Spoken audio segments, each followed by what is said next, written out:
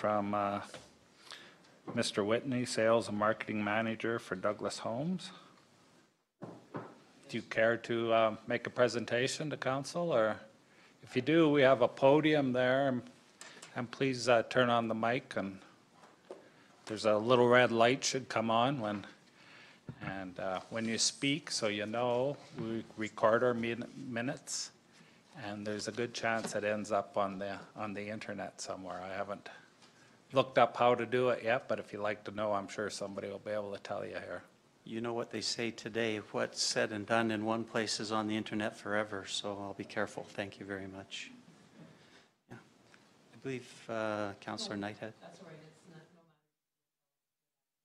no Okay, thank you. Uh,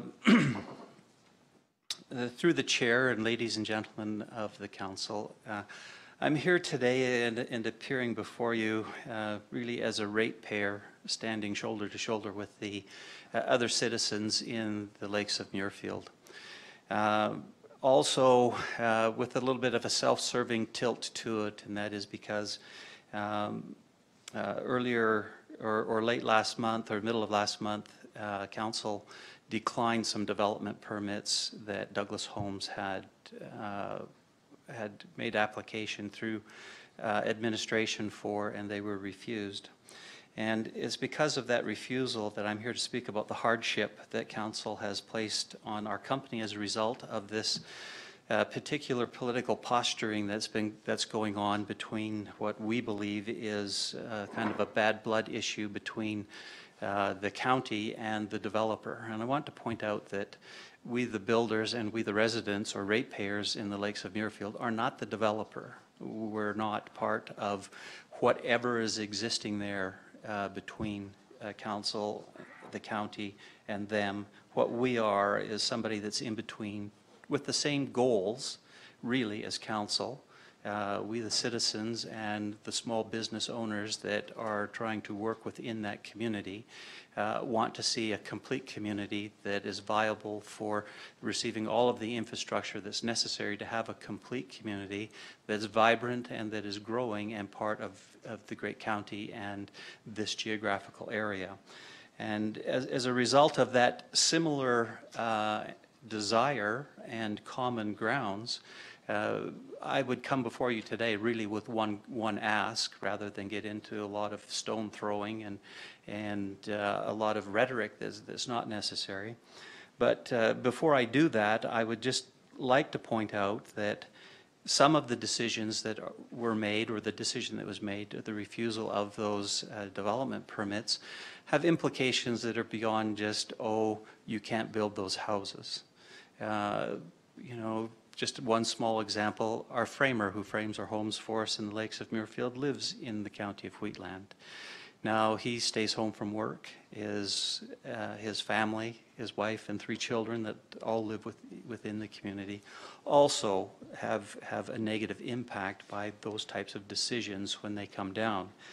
Uh, Now, uh, there's business implications for us, but certainly one of the things that is the biggest negative impact is what's happening to the residents and the people who are already ratepayers in, in the lakes of Muirfield.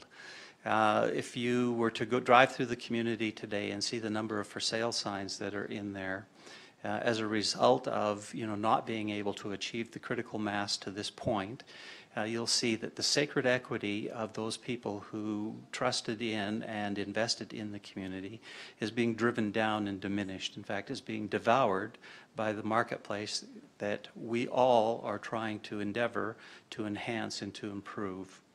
And so, it, with that in mind, uh, I, I approach council today with, with one basic question, and that is, will you vote to rescind those refusals and vote in favor of those development permits so that we can move ahead?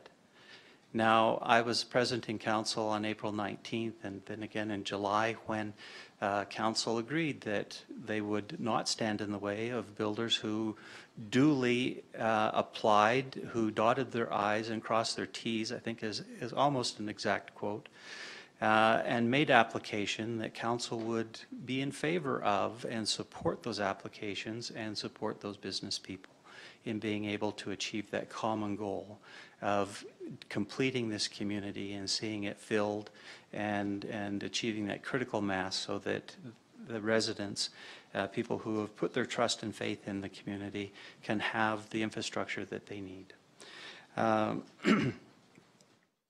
The uh, said building permits were refused, all for the same reason. The reason was that the proposal does not meet the Wheatland County Land Use Bylaw for permanent wastewater solution. And that's a situation that I think that we were all aware of, council and, and residents and, and builders alike. Uh, But council set down guidelines whereby we had until uh, six months from the April uh, 19th meeting to uh, go ahead, business as usual with your support, to which uh, we in good faith have proceeded and have done everything that we needed to do to make application to receive that support. In fact, on uh, August 16th, uh, prior to council meeting, we checked with administration uh, to make sure that everything was good. Administration assured us that we had done our part and that they foresaw no issues with it going forward. We would have assumed at that point that we would have the support of council. So today, I'm asking for that support of council, asking if council would rescind or reconsider, rescind, and approve in order that we might move forward uh, in that community and complete the obligations that we have. I open up to any questions from council um, and, and, and ask for your support. Any questions?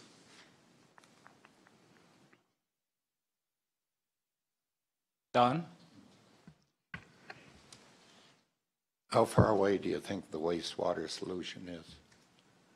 Because we've had nothing in writing from Strathmore or anything. And, and respectfully, um, I know that's a concern that council has, but that is not my issue or my concern.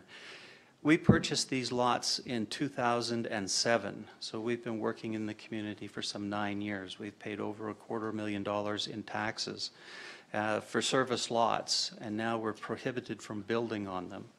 Uh, We, we support council in their need and desire for a permanent solution. Uh, We're not capable of putting very much pressure on a developer because we actually purchased our land before the current developer took over. So we're, we're essentially holding the bag for what's there. All we're asking for is, as a business, to be able to proceed and do our part in completing the community. If I were to conjecture, my understanding is, is that the town of Strathmore uh, has, has uh, indicated verbally and is prepared to put in writing their acceptance of the effluent. But that's not for me to say. I know previously, uh, the residents of Muirfield came here, and they had a rightful concern of the cost that it was to take the effluent to Strathmore by the way it's being done now. And I'd hate to see that passed on to, as you say, six more families type things with no solution at the end of it. No, I in favor of building to all our small communities, cars and whatever. We need rural people, or rural urban people. That's, I would hate to see six new families have to bear that burden of trucking. I can only speak uh, about the experience that, uh, uh, that I hear of, of the people who live in the community, and we have people who live in the community here with us today, as well as I have staff that live in the community. And there's absolutely no interruption to their way of life with the current method of, of uh, effluent disposal and the fact that it's being trucked away. We've done comparisons for the cost of doing that versus what citizens are paying in the city of Chestermere. And it's actually more affordable to live in Muirfield uh, from, from that point of view. So, uh, yes, it's not permanent, but in terms of it being a burden, I don't know that that they consider it a burden. Where it is a burden, and, and this is real, and that is property values are impinged upon by the fact that there's so much discussion about there not being a permanent solution. And so we're in favor of a permanent solution. That's not what I'm, I'm here about today. But when we entered into our scenario uh, in 2007, there was not a permanent solution then, and council approved it. We bought, we purchased the land then and, and have proceeded forward believing that there will be a permanent solution. That's a hard thing to sell. Very good question, though. Thank you. Any other questions?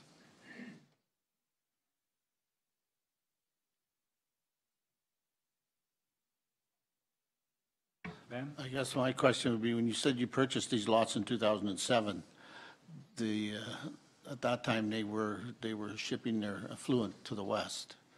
And it was, apparently that was uh, to be a permanent solution if the development had gone through on the, on the other end. So you, when you bought them, the idea in mind was that that was a permanent solution going in that direction. I know they were trucking it, but uh, the end was supposed to be a permanent solution, and since then, well, we all know what's happened since then, so. My dilemma, I understand your dilemma, my dilemma is, is, uh, as Don had said, it's being trucked to Strathmore on a one-year contract with the possibility of being renewed if everything doesn't fit, but there's no guarantee it will be. So you got one extra year there. And there's talk of Strathmore putting something in writing and putting a pipe in the, in the, in the ditch or on private land to get the effluent there. And the six months was put in place to, to accommodate that, to hopefully get that in place. And to this date, I haven't seen yet, I haven't seen that. I'm not opposed to the building, I'm opposed to adding more building to the infrastructure that's there. And to me, that's not a permanent solution there, so I can't in good faith to the ratepayers, not the ratepayers of Muirfield, because I know where they're at, but to the ratepayers in the rest of the county, in good faith, vote to allow that to keep moving forward until something permanent comes forward, that I can actually see that there is something permanent in place. And I, I, I'm- I I won't apologize for it, but I'm sorry for the dilemma, but that's where I come from. And, and I, uh, I do hear your concern there, and I, and I think that uh, in, in the chair that you sit in, perhaps, uh, you know, there needs to be somewhat of a balancing of, of a greater good or an element of fairness. And I would just like to reflect back to, to April 19th, when this council in this very room indicated that if we complied and if we brought forward proper applications, that you would support those up through the moratorium period, which would be the 17th of October of this year, of which we have done that. And all I'm asking is that council reflect back on that commitment and honor that commitment. There, you know, when it comes down to the grand scheme of things, whether there's six or eight or 12 more houses that are completed in there for the builders who have purchased the land in order to build them on, uh, that's not that much more effluent for them to worry about. And if we look at the big picture, th- I mean, that's where we would be at. So we have a dichotomy, and I understand the dichotomy that you're in.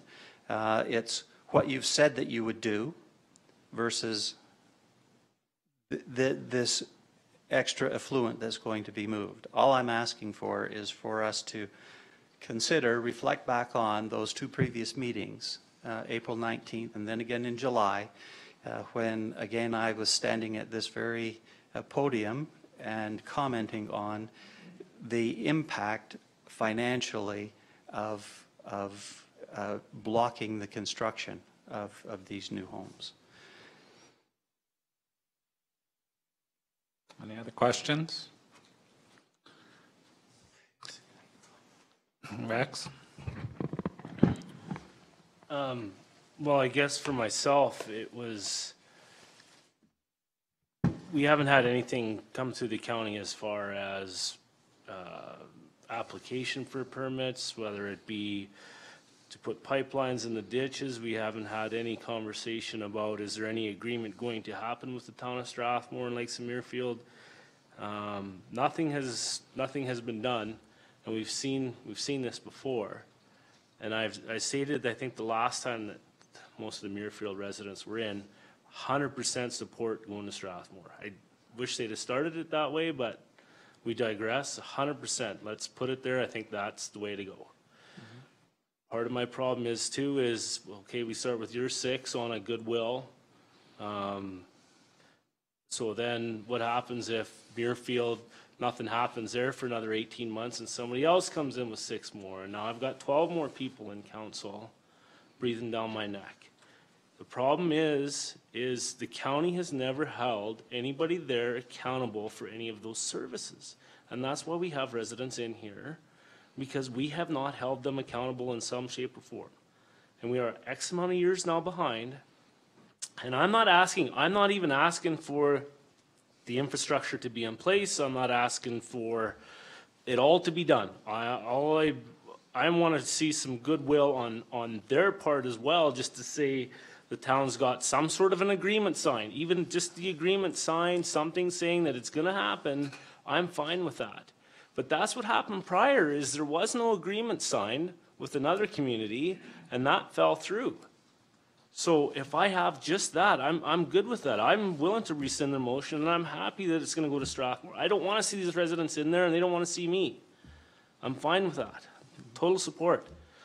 But, and I get that there is a six-month deadline that, that you're talking about, and I apologize for that as I sit up here in council. I like to be a man of my word. But if, it just seems like if we force them or push them a little, then things start to happen. And I get that things take time, but it always seems like every time we come into this conversation, some magic email came in, some magic phone call happened, something magic happened that things, something's gonna happen. I've been, been seeing this every time this comes through. So I'm not asking for much. I'm not asking for the whole infrastructure, just some sort of goodwill from the town and, and that development saying, hey, here's, it's gonna happen, here's the agreement, let's move forward. I have no problem with that. I'm hundred percent behind it. But how do we hold that accountable if we give up that accountability? As a, as a business person, I can completely, I'm in complete accord with you on the idea of accountability. Um, I, I'm held accountable for my actions every day uh, in my office, uh, to my staff, to my employer, and to my clients. Um, If I start breaking my word with them, then uh, I am, am starting to nuke bridges. I'm not just burning bridges, but I'm nuking them. Uh, Those are bridges that don't ever get put back together again. And that's what we're talking about today. Accountability, how can we force accountability? How can you force accountability onto the citizens who bought in good faith? We bought nine years ago, uh, and in good faith that things were going to happen. We're looking for uh, a way to help make things be better. Uh, I'm not sure how uh, punitive measures against me as a builder is going to change accountability for what the developer needs to do. And I'm, I'm more than happy to turn the podium over to the developer and let him speak to his issues. However, I'm just here to speak about my issues. My issues are my investment in the land, and if I'm being told today that I cannot build on my land, that they're not serviceable lots, then what do I have, and what have you taken away from me, and what's the compensation that I should get for that? You know, because that's the direction that, that you start to push somebody in if you take away their ability to do their business. And I, you know, we're talking about perhaps uh, two things that aren't right or are wrong. But if you think back to being at your mother's knee when she told you two wrongs don't make a right, how can we make another wrong make a right out of this situation? All I'm really looking for is the ability to complete my obligations. I'd like to be able to tell other people, go do business in Wheatland County. It's good business. Right now, I'm not experiencing that. I think it's possible to reconsider. I think it's possible to rescind. And I think that there's other ways that you can get leverage with the developer. But the small business person and the, and the ratepayers, we're not the avenue. We've, to, to, to be, to be blunt, we've already made our bed, we're lying in it, we're trying to make the best of it. I'd like to see us make even a better go of it than what we've currently got going. I couldn't agree more with you, uh, uh, Rex, about the, about accountability. But let's just put that in the right place. That's all I'm asking. Any other questions? I guess uh, for me, part of the clarification back in April, when uh, it was decided you'd had six months, I don't believe council, maybe it was the impression that we'd approve all new development permits, but we would look at them. I, I can't say for exact, for sure what I said, but I've said it once before. I'll no way make a, a judgment or a call on preconceived what my vote will be coming up. I always have to remain persuadable. Okay? It, uh, if I was in favor of just the okaying them for the next six months, I would have made a motion right then and there, leave it with staff and okay it the way it's always been. But things have, were changed then. I guess for me, I know I don't have to explain, but I'll tell you a couple things. When these development permits come, there were six of them, seemed to be quite a number, and there was nobody here to speak of them, and the deadline's looming, and asked staff if there's been any agreements, none they were aware of. So to me, it had the optics of looking, we got to get these approved before the six months is here. I got to cover my bets because I can't go back once I approve it. So for me, that was a, a, a sticking point in the back of my mind. But uh, in moving forward, I'll ask the CAO, is it possible to rescind a motion that's been voted on or, or uh, what's the procedure there or is it even possible for us? It's possible, it would require? So, Mr. Chairman, uh, upon advice of legal counsel, the process would be to, um, to uh, recon, make a motion to reconsider would be the first step in, in that process, and that has to be done by one of the councilors that voted in favor of that resolution to refuse. Okay. Uh, Last month, when we refused these motions, it was, uh, it was done in council, and there was, I believe, some talk of, uh, of an appeal. And also, when I reflect back on it, it was done in council, we don't need a motion to not approve, do we? With reasons?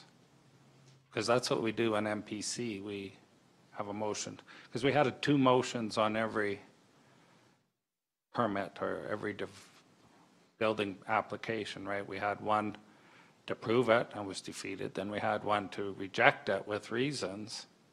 Do we need that in a council meeting to? Question?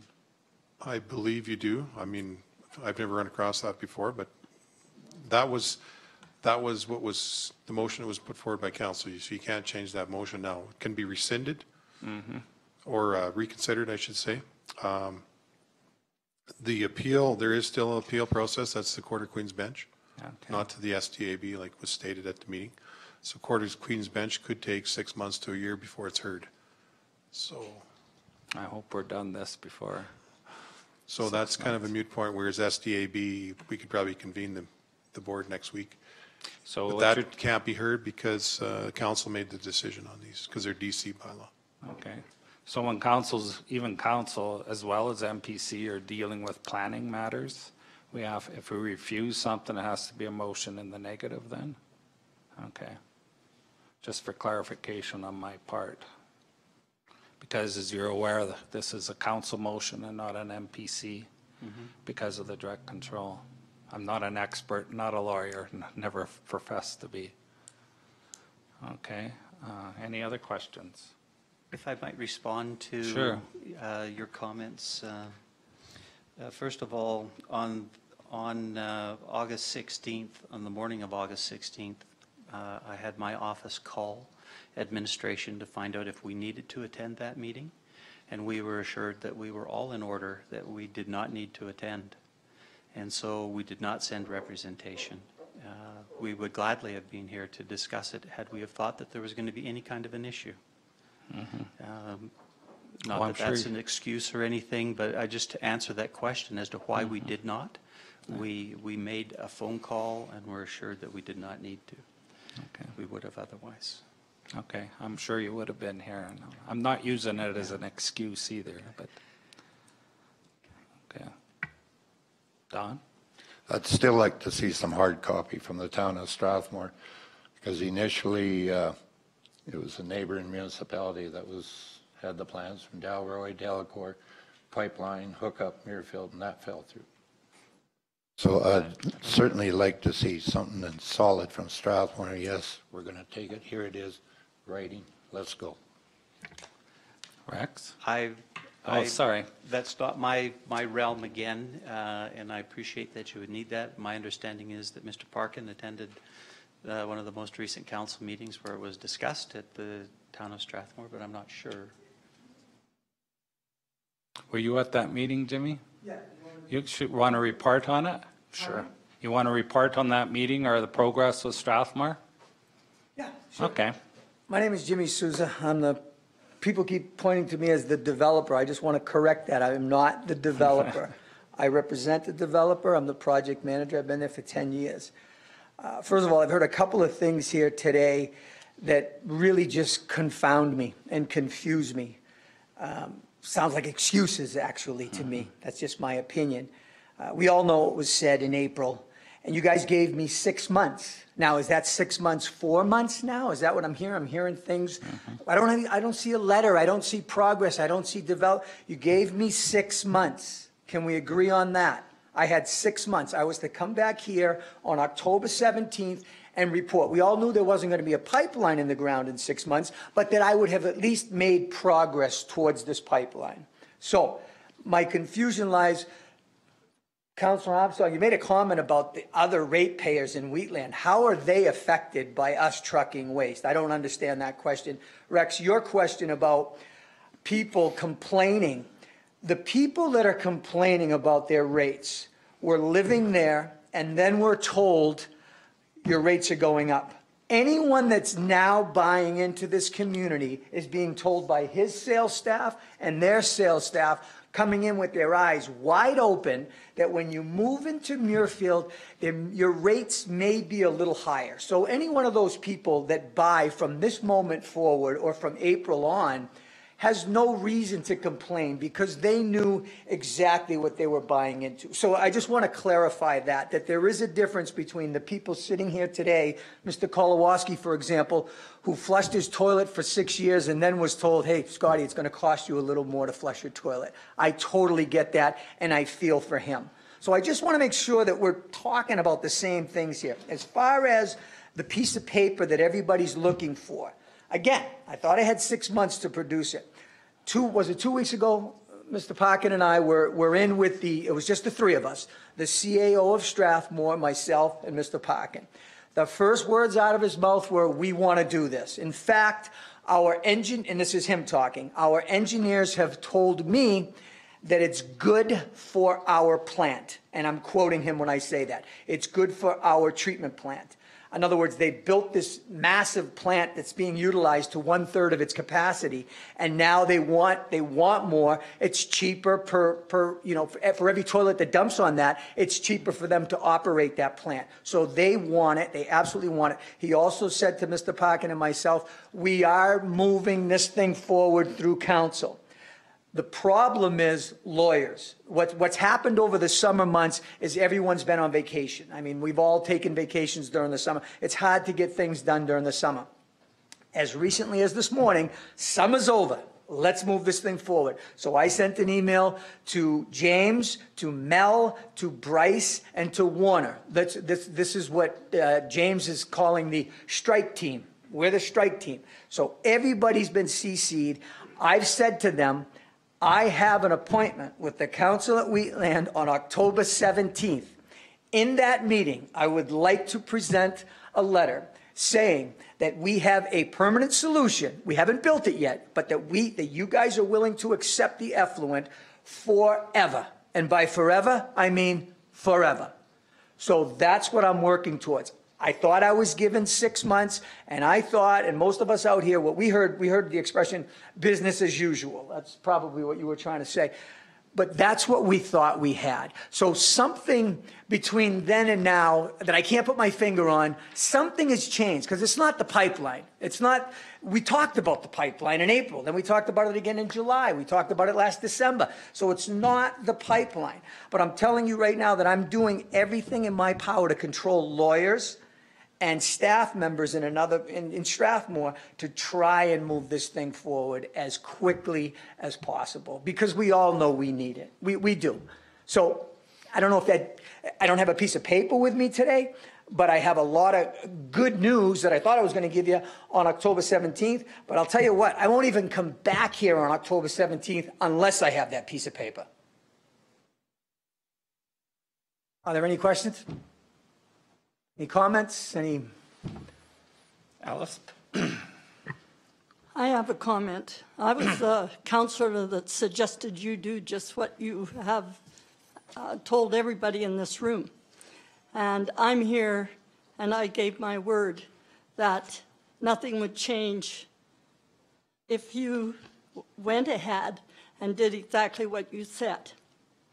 So I did vote for the permits. So I want you to know that. And as far as I'm concerned, if they come back here today, we can look at them. I see no reason why we can't do a rescind. And hopefully that's where this council will go. Thank you, Jim. Thank you, Alice. And, and, and keep in mind, he's speaking from a builder's standpoint, but we've got a couple out here who've just sold a home to a woman in Calgary who sold her house so that she could start building in Muirfield. Those permits are coming in sometime in, in- the builder is sitting right there, sometime in October, I think.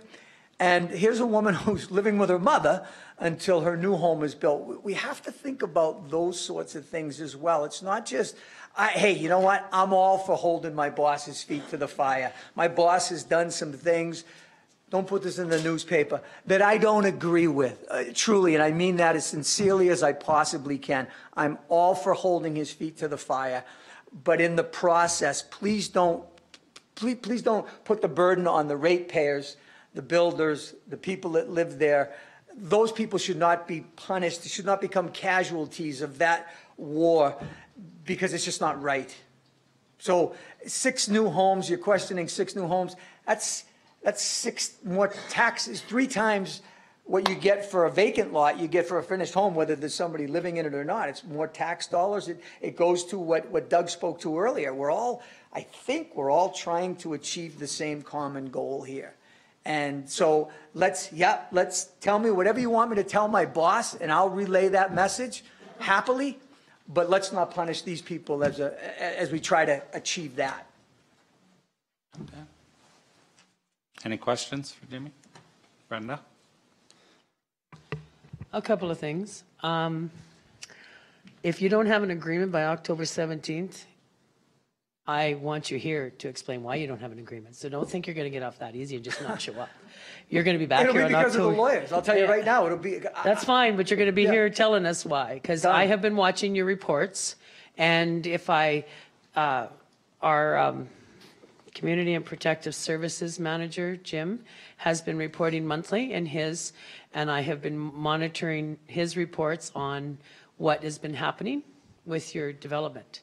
And I too realized what commitment we made to you, and I, I did well, it's all recorded, so it doesn't matter. You know where I stand on the issue. But on October 17th, regardless of what happens, Jim, I still have ratepayers that ask those questions, right? So I want you back here. And if it's the lawyer's faults, I want to know it's the lawyer's faults. Absolutely. And And- thank you for bringing up those reports, because that is a commitment that I made to this county. Yes. And I think, Jim, I've done an okay job of keeping that commitment to Yes. you guys. And that is reporting to Jim and Alan and Jerry, uh, Gary, every single Friday, uh, unless I was away on vacation, that this is what I'm making. And they're not great strides, but they are great strides. They haven't produced a piece of paper yet, but trust me, they've developed relationships, and that paper will come. And, and they've already said it verbally. We want to do this. It's good for us. So the only thing stopping us is there's a lawyer in Edmonton that, that James Thackeray would like to use. All for it. My boss is all for it. So it's just a matter of, of, of getting that done. Yeah, and I- that's- and I do- But and I I will have be been- here on the 17th. If you want me Yeah. here, Councilor Knight, I will be here. Well, no, I I know, and, and I know that this is a difficult process, like Alice had said before, that this isn't going to happen overnight because of the situation. Uh, Rocky View was part of the initial issue to begin with, and when you came here, you made the commitment to reporting to our staff on a regular basis. And so, on that note, you are in my division, and I have been looking at Mr. Laszlo's reports and checking up to see if that's continuation. So I think you've kept up on your commitment, and I've seen no other action that's saying that you're not. And yes, you have till October 17th to produce it. So uh, I'm not jump, I didn't jump the gun on this one, so. Any other questions? Don, uh, Ben? Just, excuse me, just a comment. Thanks for coming up, m- uh, Jimmy. But, and I don't have an issue with a reconsideration motion, but I won't re, I won't consider that until October the 17th.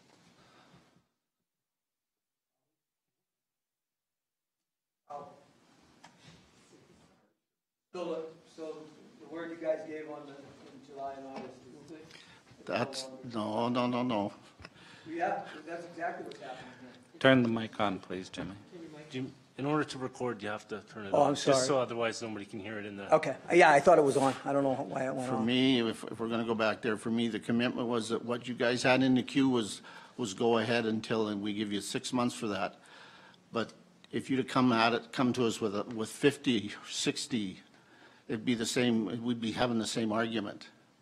You came up with six of them right at the end with, and I agree with where Glenn was coming from. It looked like an end run to try and get something in place before the deadline came because you couldn't meet the commitment or you were afraid you couldn't meet the commitment. You've come in and asked, the developers, builders have asked for a reconsideration motion. And I'm saying that I would look at a reconsideration motion on October the 18th, 17th. So you're punishing a small business owner for wanting to move forward No. and progress the county of Wheatland? That's what I'm hearing, Ben. That, that's. No, I'm not. That's nonsense. The fact that it's six instead of one, uh, i- i- is this whole exercise not to produce a tax base and bring more people out to the county? Isn't that the whole reason you approved this in 2004? Do you want me to go back? My reasons in 2004 aren't going to be very helpful. I get it. I get it. I wouldn't have come out from White Rock if I knew what I know now. But we're in this position, and I'm saying let's work together to, to, to move forward and not backwards. So to say that he's denied, that the two that are coming up, that the woman who just sold her house is now, you know, nobody can build at Muirfield, wow. That's, I, I just see that as in total contrast of what was agreed to a few months ago, and I don't understand it. I, I guess that's my problem, is I'm, I'm confused. Okay, Jimmy, the, the two that are coming up, I will not make any comment on, and I, I don't want council to make any comment on. Those are applications that have yet to be heard, and we will not, again, uh, make a pre-motion stating what we're going to do when those come up. They come up on their own merits, right? So we'll leave them ones out. Well, Doug's You gonna take that personally, though, if, no, Doug can uh, come back in when those permits come and Okay. say, I've got a sale, whatever he, Yep, he, yep. he does and uh, presents his case. And uh, council again, listen to it. and uh, make a decision based on those merits. So you're saying, and I just want to make sure I'm I'm hearing not this. saying that uh, we've stopped everything. We've no way said that. Yeah. Okay? We did say if we don't have an agreement by then, something else has to be done. That, that was stated after the six months. But no way did we state we're going to approve everything. And last month, we did not say we were going to deny everything. It's just last month they were denied. Doesn't mean in the future, the same going to happen. Okay, as long as we're straight on that. We didn't, least I don't vote to send out a message on how I'm going to vote tomorrow. Okay? Yeah, you can Is that- is that understand how that would confuse these people, though, when they want Right. to sell a home. Should they even bother selling a house if it's not going to be approved? We So have that a- there's- I know it's not the same, but we have a development in Rosebud with other problems, and we've halted all development there too. And uh, we've just started getting on a track. We've come up with a, an agreement with the developer, and uh, things have been on hold for a couple, three years, I believe. Yeah. Same type of problem. Does We're it have working- 100 ratepayers already there paying taxes? in this Rosebud, development? not 100. They probably only got about 100 residents, yeah. No, but I mean, in the specific development, it's a little unique in that there are 100 people who pay It's unique. taxes here. I know, it's unique, and I, I don't want to get into. Yeah, no, and I, and I argument. understand that, but I'm just saying. But it's still a community This animal thing. in Muirfield and Lyalta is so different than anything else in this county. And therefore, some of the decisions that have to be made are going to be unlike anything that council has ever seen before. Mm-hmm. Right. Because of this unique animal that we've created Mm-hmm. back in 2004. So I understand where you're coming from, and I don't want this to turn into any sort of an argument. But I would like some of these people here who pay taxes uh, to address their concerns. They took time, they took days off from work and Mm-hmm. stuff to, to be here today. So if we could just allow them to speak their mind. Unless you guys have more questions of me, I'd be happy to address anything. I don't. No, I, any more questions from, from Jimmy, or for Jimmy? No? Okay. Okay. Don, you have a question? What was the indication, Alan and Jim, from Strathmore when they had have the contract? Yeah, what he said was that he had, the guys that were working on it were on, out of the country, is literally what he said, Alan, and that they were coming back after Labor Day. Alan and I heard him say three to four months to get this done, but we started this thing two months ago.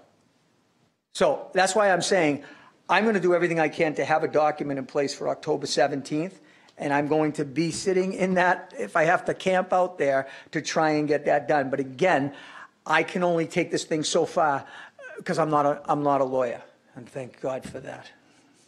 Don't quote me on that. So the statement was made three to four months. But again, we have been working on this prior to that statement being made. So whether or not that was three to four months from the first day I showed up at his office until, or three to four months from the moment we were sitting there that day, I, I, you might have interpreted it one way, but I'm going to interpret it the positive way. My glass is half full. I'm not going to interpret it either way. He did say three to four months. Yeah, And uh, after I picked Jimmy up off the floor, I did ask James if we would have this, so what you're saying is we'd have this done by the end of the year? He said certainly we'll have it done by the end of the year. He did commit to that, remember? yeah, yeah. Alice, go ahead. I thought I was all done, Jimmy, but I'm going to ask something. And this is uh, something that'll happen once the- the uh, agreement is signed. Yep. Um, The developer, he's quite prepared to put up the cost of uh, $12 million, I believe it was bandied around, that will, will take to complete that pipeline. Is he prepared to put that money up? Because I heard a little rumor, and I want to just clarify it today. Well, I think if we played the tape back from that council meeting, I believe Hassan stood right here Yes. and addressed that very question. So I'm not going to speak, it. I'm not the guy writing that check, and it's, you know, a lot of Yeah. zeros. But I believe if we played those tapes back, uh, the answer to it would be yes. Yeah, okay, because that, that's what I understood from Yeah, him as well. and I think we well. were all here when he said it.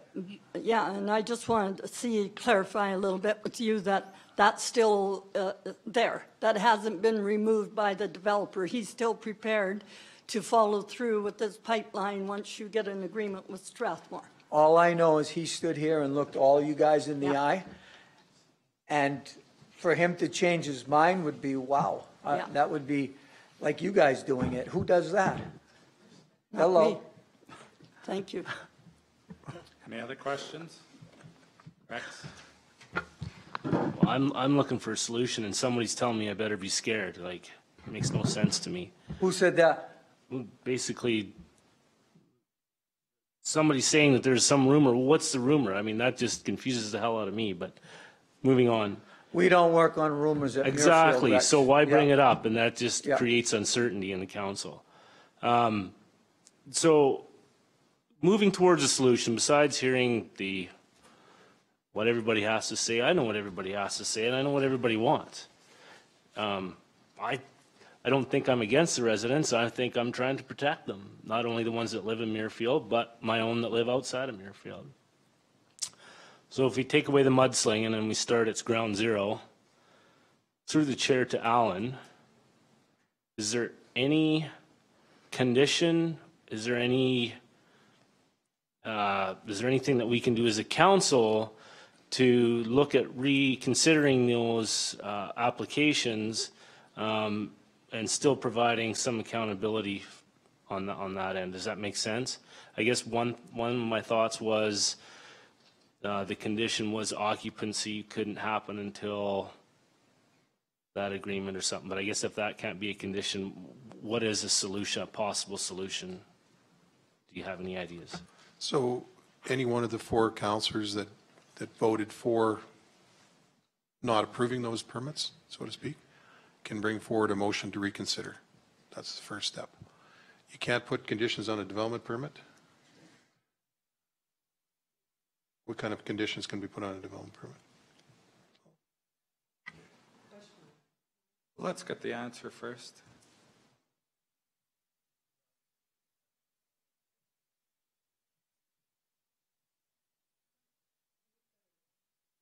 You're gonna, do you, About the do you condition. know the answer to that, or you have to go look it up? We'll just check with that, Mr. Chairman. If you can give us just a minute so we can answer it accurately. I know we can put conditions on development permits, but I don't know with regards to this di- direct control district, which conditions we can put in that ties it to your previous resolution wrote, the uh, fact of the six-month period, because I don't think that we can do that. Or the reporting back as to if there can be, whether or not the bylaw should be amended to include regulations pertaining to servicing. That was done on August the, or I should say, um, April the 19th. And so that's a resol, a resolution that has been adopted and approved. So I don't think we can place conditions on development permits that uh, conflict with that. But I want to check with that. Yeah. And through the chair, in response to the occupancy question, we don't, since we don't do occupancy permits here, we wouldn't be able to put that on as a condition. Okay. I do want to commend you, though, Rex, for thinking outside the box and trying to come up with a solution. I I sincerely thank you for that. That was a good suggestion. Okay, Brenda? Your basis for refusal was permanent wastewater solution. So how can you or this council force Mr. Whitney from Douglas Homes and put a condition on that if he doesn't build, he's going to pay for it now? And like, I don't know what you want to put on for conditions on a development permit that has nothing to do with the developer who is responsible, who, not you, you're the rep, project manager, and you will take this back to your, to the boss, thank you. And I'm not sure on a development permit how you, or even if we could, because legally, you're not responsible for the permanent, it is not your job to provide wastewater sewers, services. You were sold a service lot, and technically they're serviced. Uh, The developer is currently hauling the waste to town. Legally, they're serviced.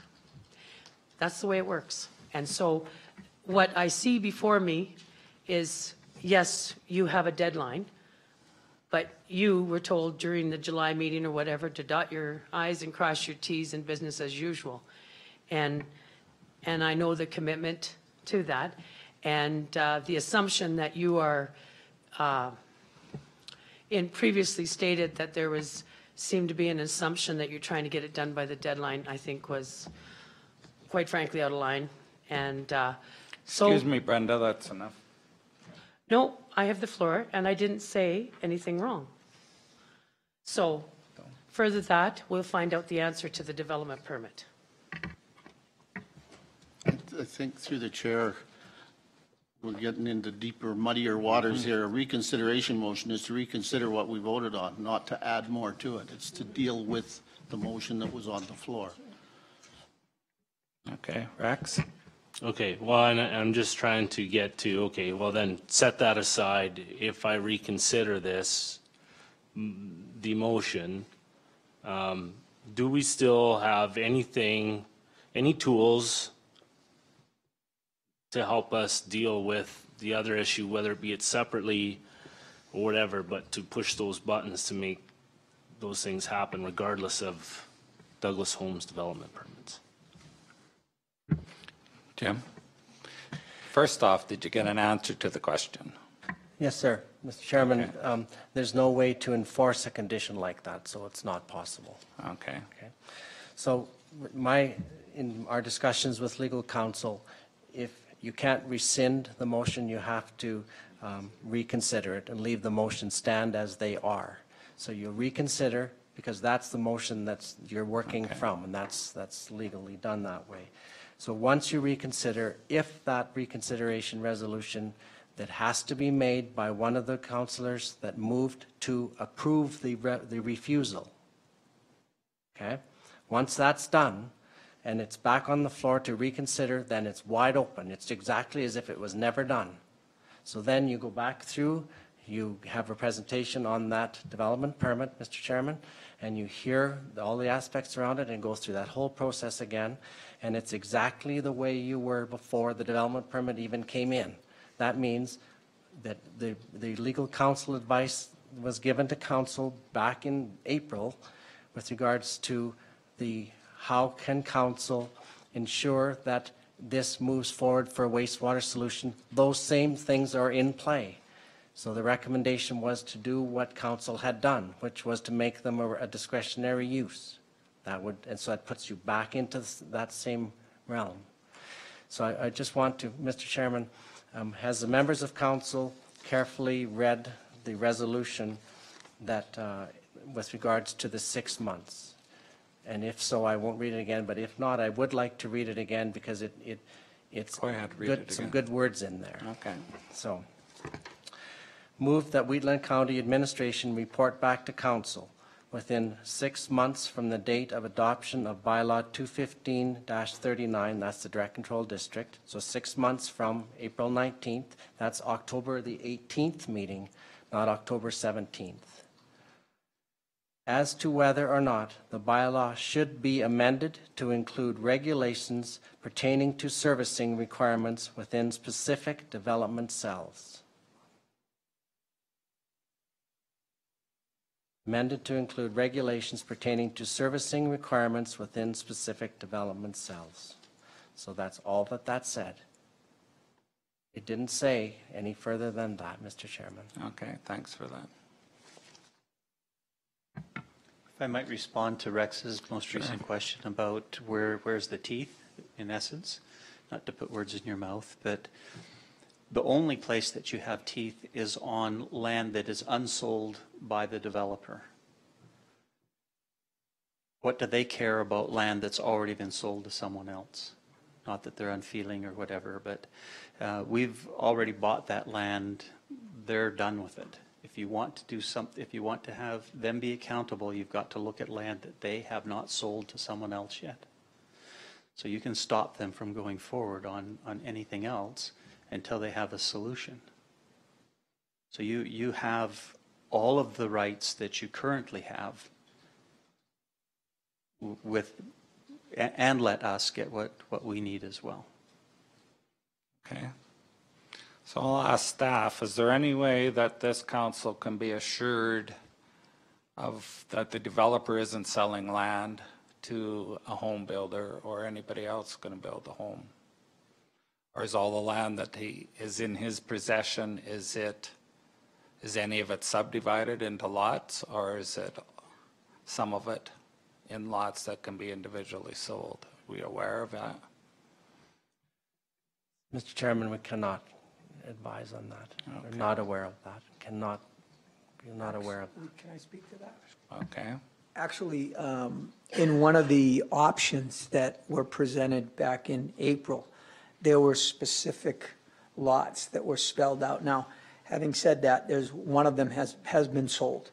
Uh, That, that's the woman that sold her house and the parents, and the Realtor is here and the builder is here today. So if you excluded that one, there's a map showing in Phase One uh, what will now be 24 lots that my boss owns. So a, a simple title search on those lots would produce the lot numbers, the legal descriptions, and you could say, you know what? You're not affected, these people out here are not affected, but none of these lots are subject to sales. That would be a good, good suggestion, um, you know, to, to hold my boss's feet to the fire. That would, that would be one way of doing it, where Okay. they're isolated, they're on separate titles. okay, so Jim, you might know the answer to that. My next question. Of this, how many lots are not sold that are subdivided and ready for development? In Phase One, 24. So out of 24. 184, 160 of them are either occupied or belong to other builders, either Vanity Homes, Douglas Homes, or Brycor Homes. There's 24. 24 lots left in Phase One. In the whole of Phase Two, my boss owns all of them. So Phase Two development, there will be none. So we could say that. We could put a blanket right over the entire Phase Two and Phase Three. In Phase One specifically, it would be 24 lots that I could send you guys an email when I got back to my office with the specific lot numbers, and, and we could, we could rectify that in a heartbeat. So of the 24, 12 are owned by the developer? No, to all 24. So All 24 are owned. 24 are owned by the developer. So there's How 184 many? serviced lots on separate titles. Okay. Of those 184, 100 are occupied, 24 are owned by my boss, and the other 60 are owned by builders. 60, Six zero, correct. So there are 24. 60% then, Yeah. Yeah. okay. Jim? And that's why I say Rex's suggestion is good, because if a home was starting to be built now, and Alan heard what I heard, let's say it does take till the end of the year, nobody's gonna be living in that home anyway until we have something on paper with the town of Strathmore, but as staff has said, you don't really give out occupancy permits, so it may be a bit of a challenge. We'd be on the honor system. Jim, you had your hand up?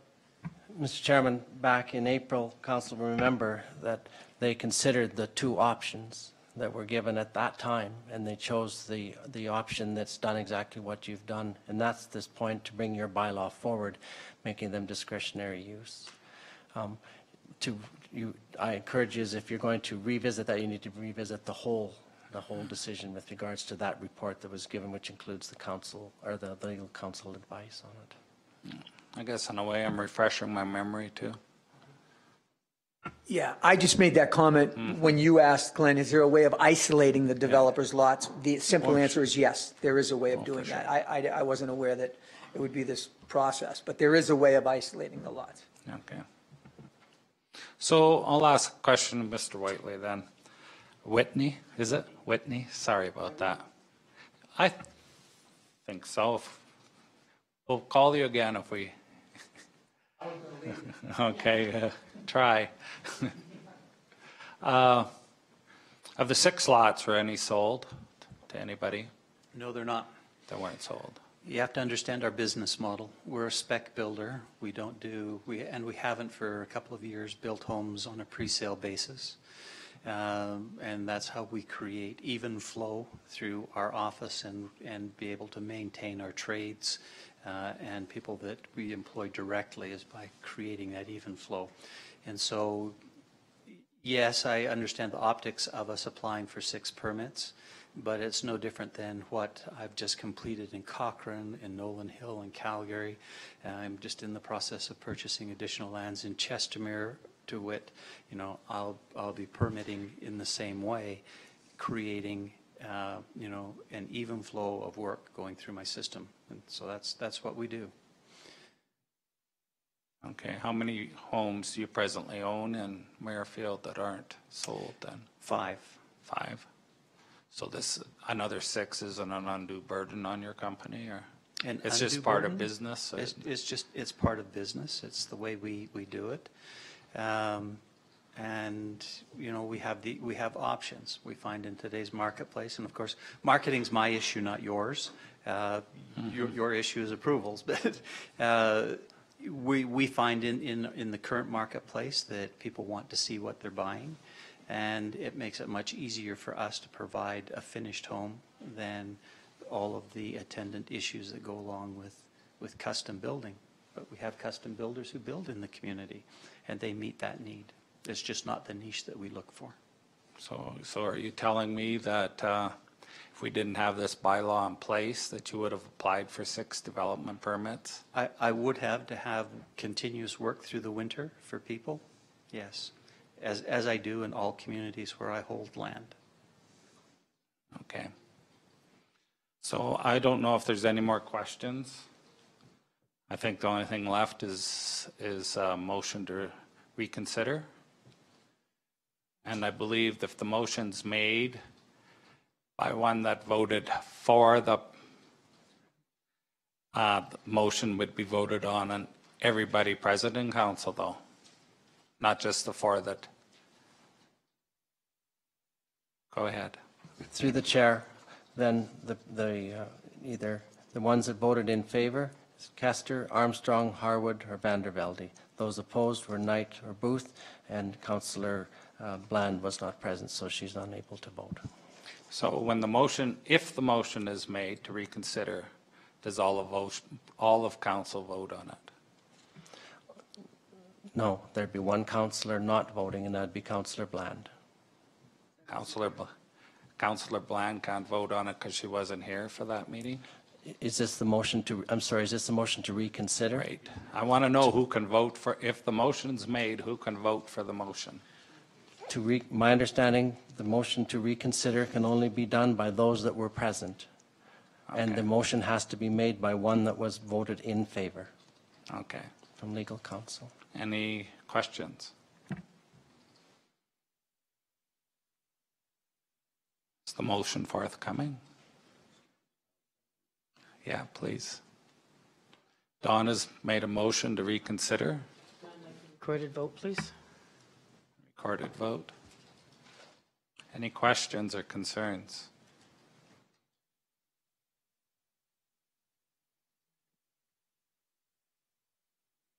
Jim? Mr. Chairman, um, I think you need to note which resolution that you're asking to reconsider There's by the of- number. There's 12 resolutions, I think. So I, I, I believe you need to, to note which, you have to do a, a, a motion to reconsider each one individually and then work through it individually backward again. So you'll have to note, if you're going to reconsider resolution number, say, for example, the first one, which is DP 216-98. That's the first one that'll be on the floor. Then you have to vote on that, then you go to the next one individually. That's how I So- understand it. So is that 12 different motions? No, Because there was a motion to accept and a motion to refuse. Okay. So through the chair, the motions that are to approve were lost. The motions that you're asking to reconsider are those that were moved to refuse. Six motions. So if we do the ones, we still have a motion that uh, was lost for them to be approved. Right? No? You're, you're not reconsidering that one, Mr. Chairman. You're only reconsidering the ones that was moved to refuse. The ones that were lost were lost. They were both lost, but you're only reconsidering the ones that were refused. So if we vote and reconsider, and the vote is one, so then that motion is like it wasn't there. So then, what's the next motion? The same as the motion that was lost? No, um, Mr. Chairman, you're voting to reconsider, you're not voting to rescind.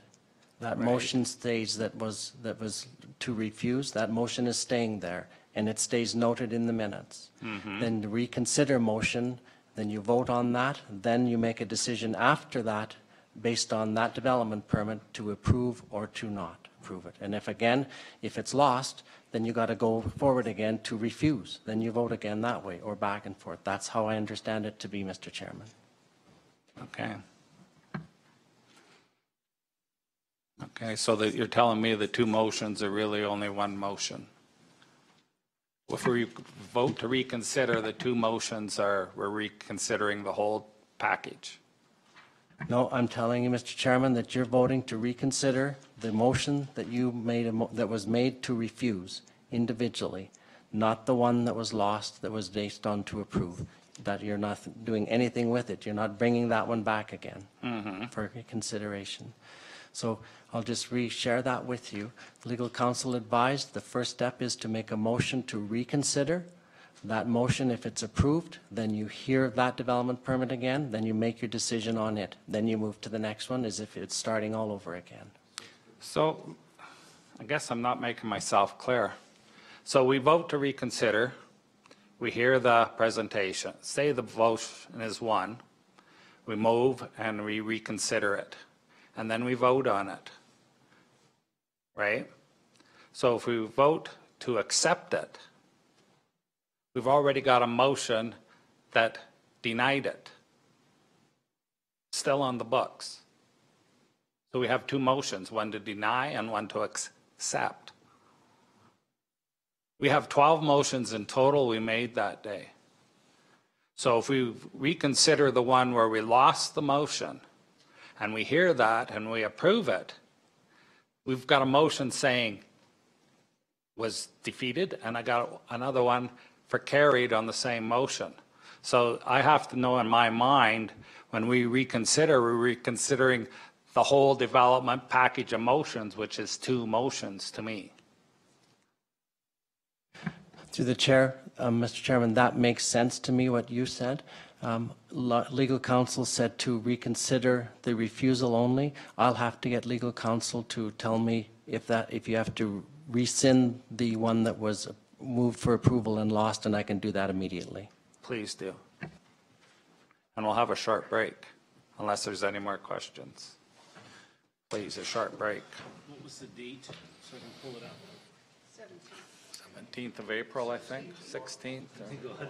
or- Yes. Through Oh. MPC or through council? Council. Uh, I can't get it to load. It was in the minutes we approved today. Afternoon of the It was in the minutes today, 17th. 17th.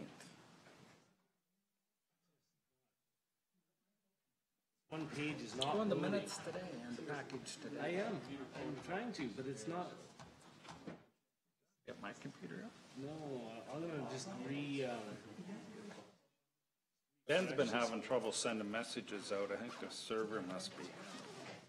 I, I, I got it all up today, I had it all up fine, but no, it's just not wanting to work for me. Yeah, well, I don't want 12 motions if that's No, no, but they have to present even with six. six.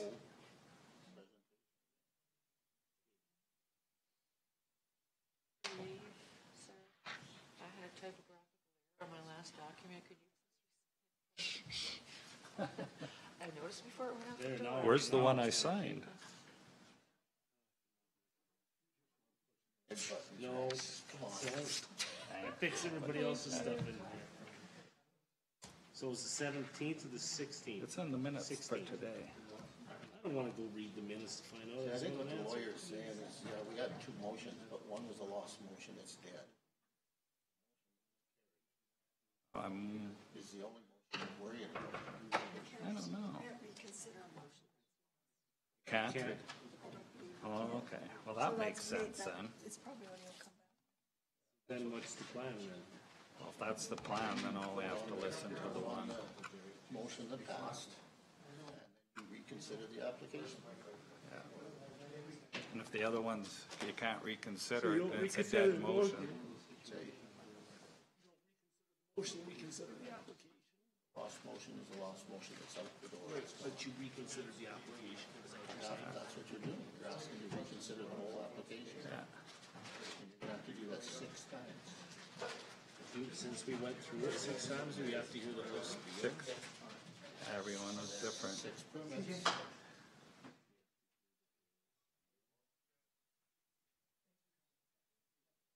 Here's my question.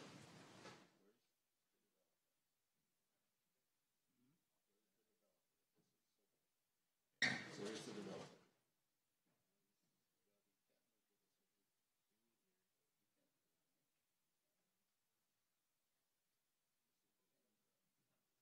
They haven't, they haven't sold any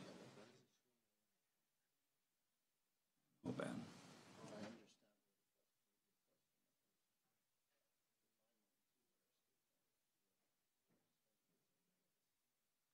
As for me, I looked at it differently on Rosebud too, and I lost out in that one.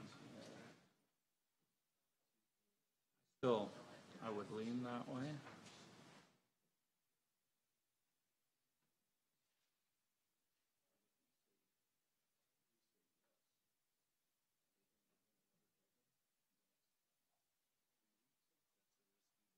We're gonna have to take it.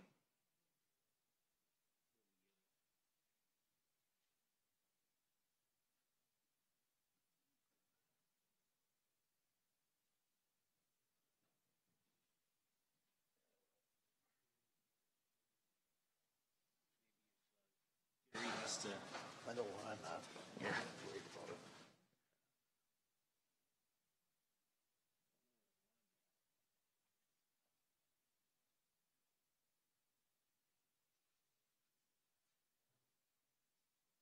There it is.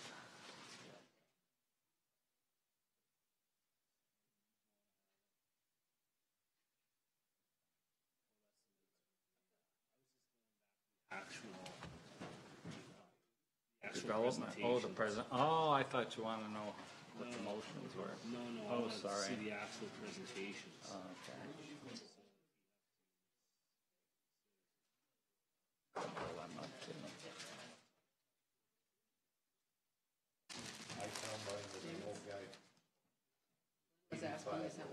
You got an answer? Okay. Okay, we'll call the meeting back to order. And do we have an answer? Mr. Chairman, yes, we do. Thank you for the time to seek that legal clarification, and thank you for bringing that point forward. It was, it was, so moving forward, there's, because there's two resolutions on each development permit, they each have to be dealt with separately. And the process going forward is, you move to reconsider the development permit that moved approval, that was lost. You reconsider that motion, Mr. Chairman, and if it's if the vote on it is to the positive, which you're going to reconsider, then you hear it. And then if it's approved, then you move to rescind the resolution that was uh, moving to refuse. So I apologize So for that. 12 rescind motions. So there'd be six, well, six rescind, mo- rescind motions. The reconsideration is on the approval.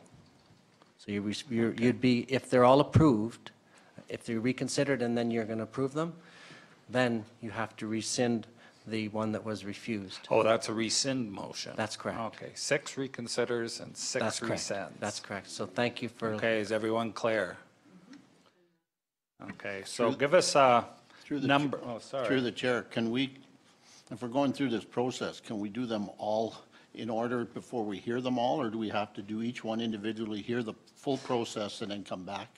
Mr. Chairman, um, the legal advice said you have to do it exactly the way that it was done the first time.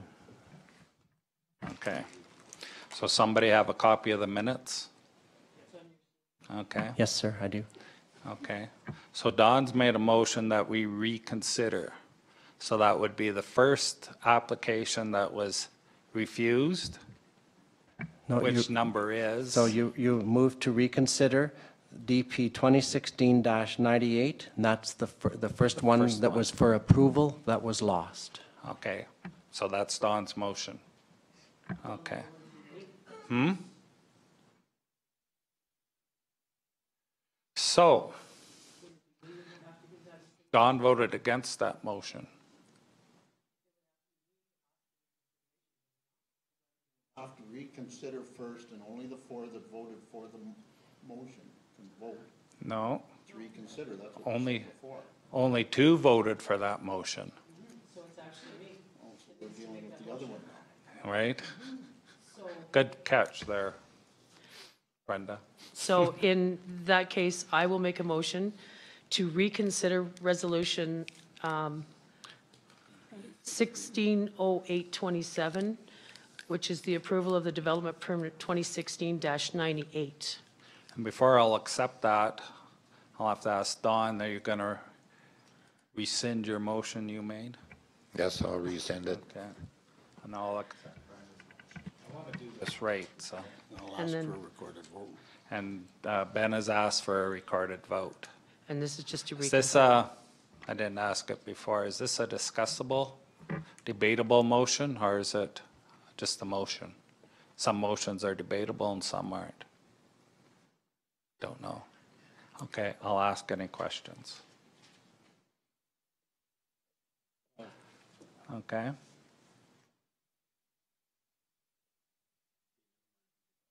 Okay, is there any questions on process? If you vote, if the motion is won, we rehear the application and vote on it on its merits. Okay? All in favor, it's recorded vote. Opposed? Now, oh, Bernice can't vote. Ben did, opposed?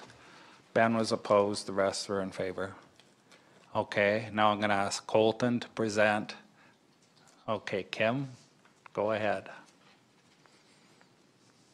I hope you're not writing all my misanswers down, Margaret.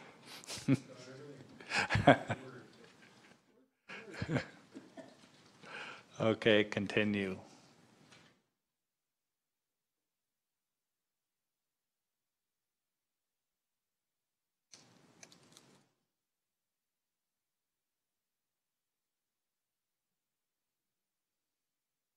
I never seen this in the manual when I was. Appreciate your help.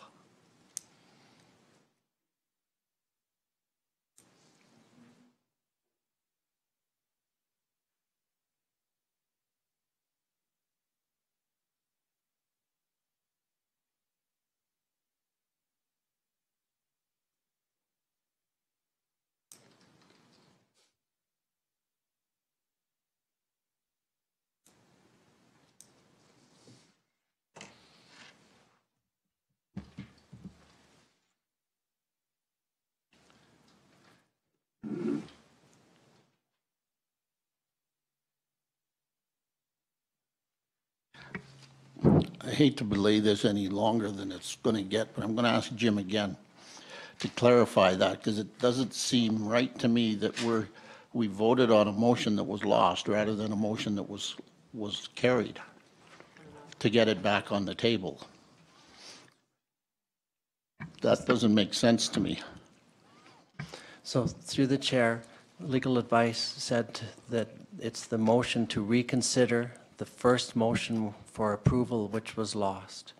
That way, if it ends up that the, for example, I know, I know what you're saying, but you're telling me that a minority gets to make the decision as to what the majority voted on. No, the, if I understand it correctly, the person that can make the motion is one that voted in favor of the approval, not one that was lost, that voted against it. And then it, when it comes on, all vote for it.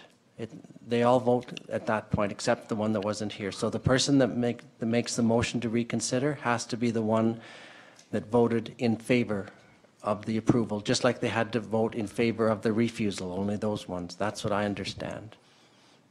I can seek further clarification on that. Uh, it doesn't make sense to me. To me, it should be the backwards if, because the motion that was, went forward was the motion to refuse the application. That's the majority, that was the one that council voted on, a majority. I understand that there was two opposed to it and there was four. But to bring a motion back on the floor for reconsideration, you don't go after the one that was lost, you go after the one that was carried. That's the one you're bringing forward to reconsider. Then you can back it up to the next, but you first have to get it back on the floor. And the only way you can do that is be, with the carried motion, not the negative, not the one that was lost. Through the chair. I know we all have our opinions. I know we all have our opinions, but I think the one that I'm gonna uh, follow is the legal opinion. And, because I can pretty much agree with Ben, but if legal said, if that's the way it was explained to legal, then I, I have to go with the legal opinion. And I'm just trying to understand the legal opinion. What else did the lawyer say, Jim? Is there anything else? So what she said was, so I'll just repeat it. There, the motion to reconsider is on the, on the motion that, where there was approval and it was lost. Okay. That was And- the last motion.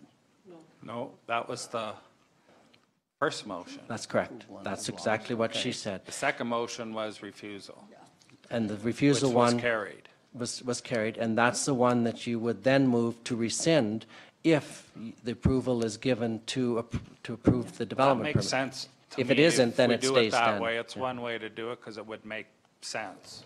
That makes sense to me, that portion of it. Then the other portion is, who puts the motion on the floor? Is it one of the, of the four or one of the two? asking for you to reconsider these motions. I realize that, but Yeah. what Jim said is before, that it had to be one of the, majority has to ask for that to come back to the table, not the minority. That's what I'm thinking. And you, it doesn't matter which one you're dealing with. If you're dealing with that motion, that's fine. But it's still a majority that has to decide to bring that back to the table, not the minority. Otherwise, we could bring every decision back to this table. Mr. Chairman, um, I'd like to ask legal counsel that particular one, because they advised that on the refusal, it's the ones that voted in favor. They didn't advise on the approval which ones, so I'd like to just, I'll go and ask that quickly, Okay. if that's okay. But there was four that voted in favor of the refusal. Like I'm, So I'm, it's one of the four that has to bring it back. Yeah. That's, that's where you're at, and Yeah. that makes sense. yeah, So the motion that Don made was fine. That's what I'm thinking. No, because. Jim, come back as a councillor, you would have your right to refuse the um, reconsideration motion. Because it's a reconsideration motion, then the other motion needs to be made after, whether you accept or not. So basically, I'm asking because you guys, I lost my motion, so that allows me to ask for you to can reconsider this motion again, or this development, or whatever it is. And that's what that is.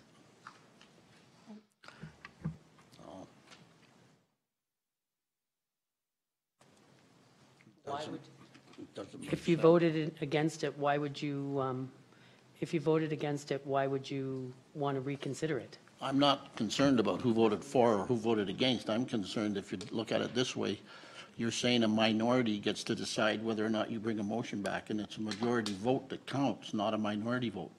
So it should be the majority that asks to bring it back. No, it's a total reconsideration. No, it isn't. Remember everyone, we're on break. Call the meeting back to order. Mr. Chairman, I'm sorry to have to report that I cannot reach her. So, um, I've I've got a message in for her to call me. I've tried her three times, and I'm not able to Okay. reach her, so I apologize for that. I- I'll, I'll keep trying here, so. No, that's fine. So I heard Robert's rules, and Robert's rules, does it have when a motion's made to, uh, and it's rejected, defeated, and then another motion to refuse is carried? Does it tell you the procedure? The motion, well, I can read what I got here. The motion to reconsider. sorry. The motion to reconsider is disposed of or lapses. The effect of the original vote is suspended and no action may be taken to implement it. This is in contrast to a motion to rescind, which, wi- which may be made at any later meeting, but until passed, has no effect on the original decision. So it's different, uh, basically, it suspends things. And from what I can understand from the original work, it's usually, it says that the motion to reconsider is used to- for this purpose. The motion originated in the United States and not used in Parliament, so that's kind of a new. Doesn't say who makes the motion. Oh, uh, yeah, it says, The motion to reconsider may be made only by the member who voted on the prevailing side in the original vote, such as someone who voted yes if the motion had passed, or voted no if the motion was defeated. So I'll have to go back to Don's original motion because he's on the prevailing side. Okay, So that's we'll fine. If that's what it is, it Rescind is what or it is. strike Brenda's motion. And we'll go back to Don's original motion. Okay?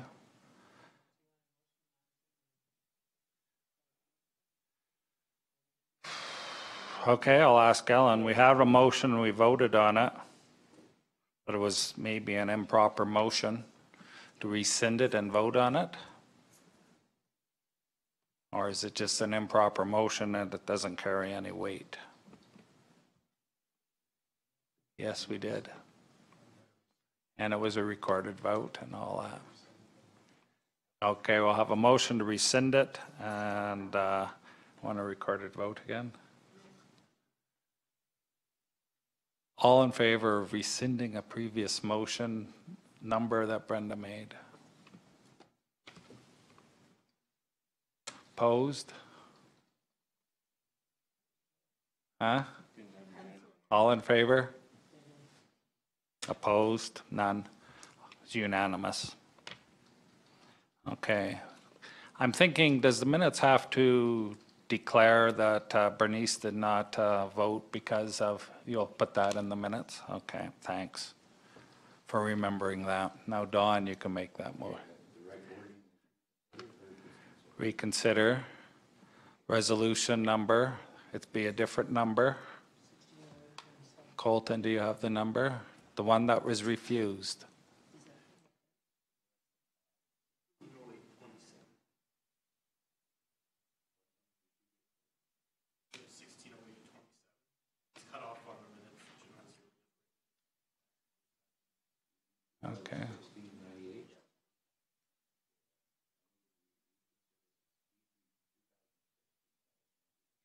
98, is that the number you guys have? Okay. And a recorded vote. Okay, I move to recon, I didn't have this on. I move to reconsider DP 2016-98.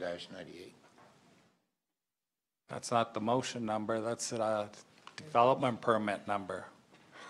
The motion number is uh, who's got the minutes up? Okay, Margaret's got the minutes.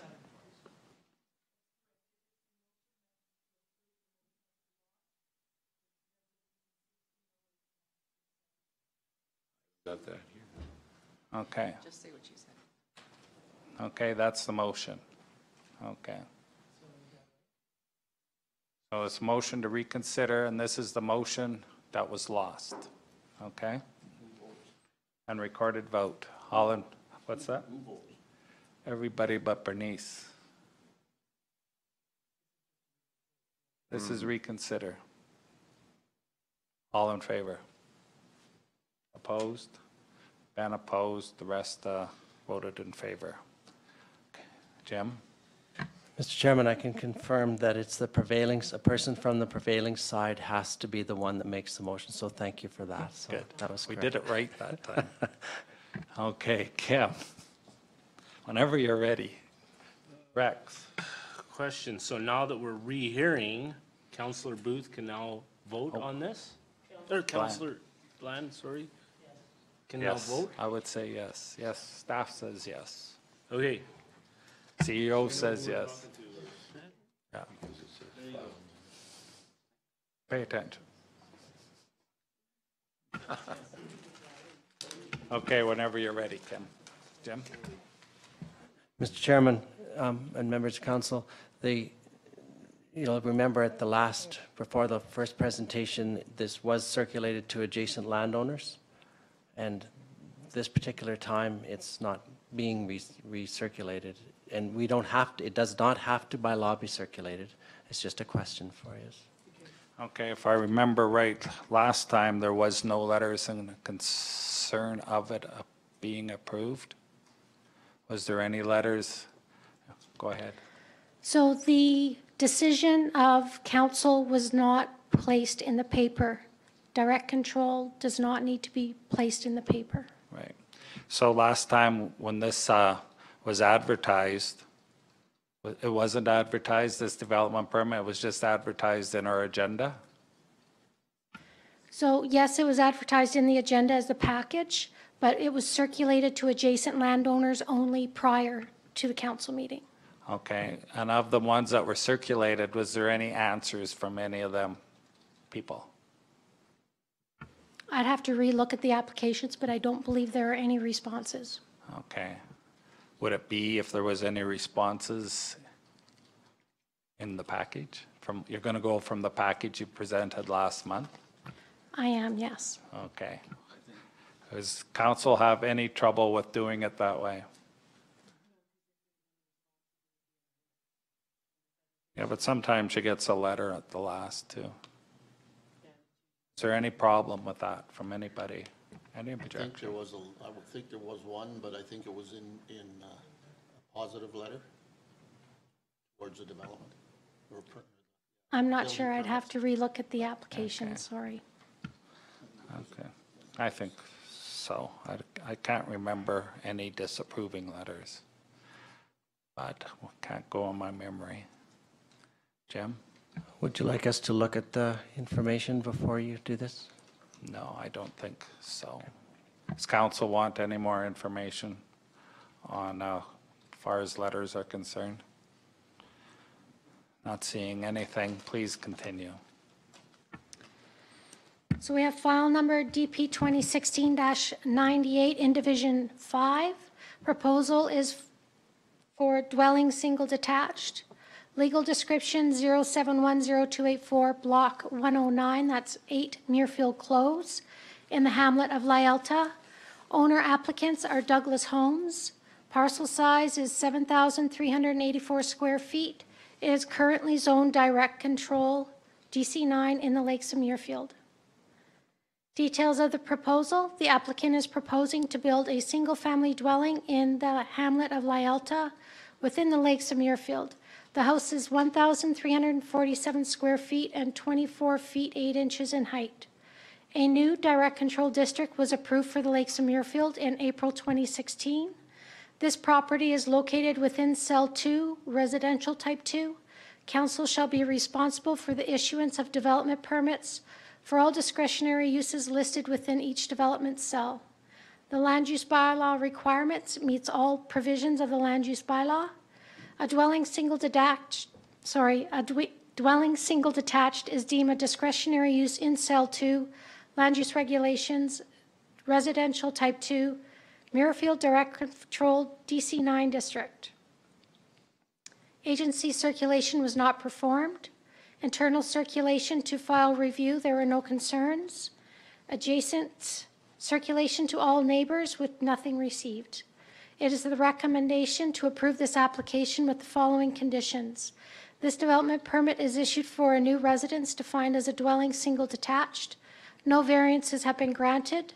Development shall proceed according to DC 9 Direct Control District requirements and must conform to all provisions of the Wheatland County Land Use Bylaw. No permanent development shall occur on or over any utility right-of-way or easement. And we have three standard notes for the Lake of Muirfield.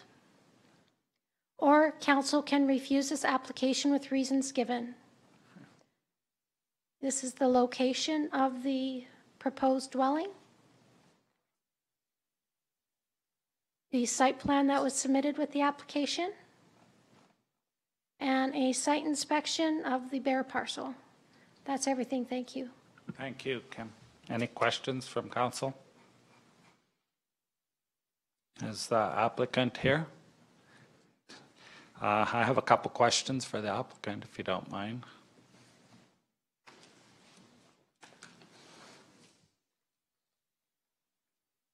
Is, uh, got to turn your mic on. Uh, This uh, development permit, is, uh, is this uh, house been sold, or do you presently own this property? We presently own the property and know it's a home being built uh, as a, a- a, um, Uh, an inventory home to be sold. Okay, is this your standard practice to have a certain amount of inventory on hand, or? Yes, it is. We build all of our homes as spec homes. Okay. Any other questions for the applicant?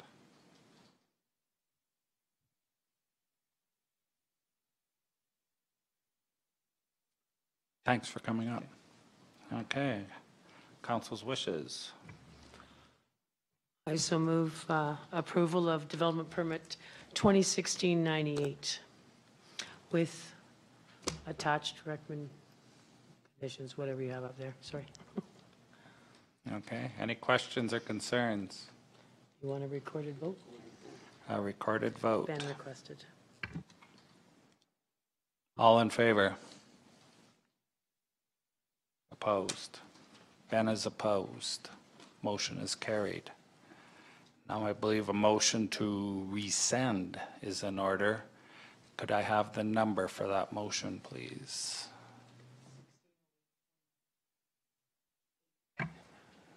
Okay. Is that correct, Margaret?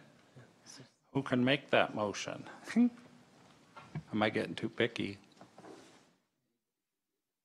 Anybody? I'll accept it from anybody. Motion to rescind. Ben has moved the motion to rescind, uh, whatever the number was, sorry. You got the number, Margaret? Yeah, okay. Any questions? All in favor? Opposed?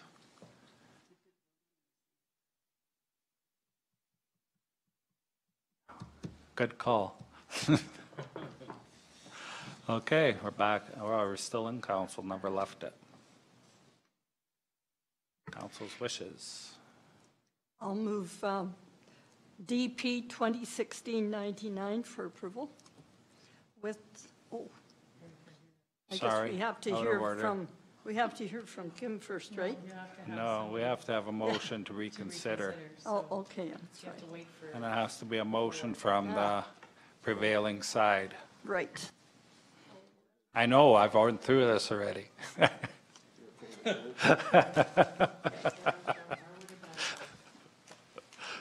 Okay, a recorded vote, if I get a motion. Also move to reconsider resolution 160829, is that correct? Is 29 correct? That's correct. Okay. Only, uh, all members can, only Ber- Bernice can't vote on this.